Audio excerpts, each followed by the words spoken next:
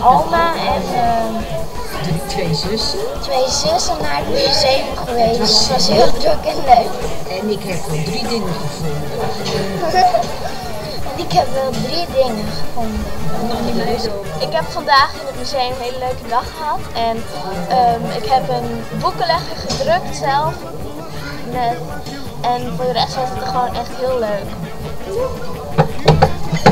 Nou, ik ben vandaag in het museum geweest en ehm, ik heb heel veel gedaan en veel geleerd en nog meer dingen. Ik deed het net helemaal verkeerd. Volgens die meneer die eh, hier naast me staat. Hij zegt van nee, maar goed. Dat geloof ik ook wel van hem. Ik ben met die drie meiden die ben het museum in geweest. En het was eigenlijk heel leuk. We zijn een beetje moe en we gaan nu lekker wat drinken met elkaar. Dag.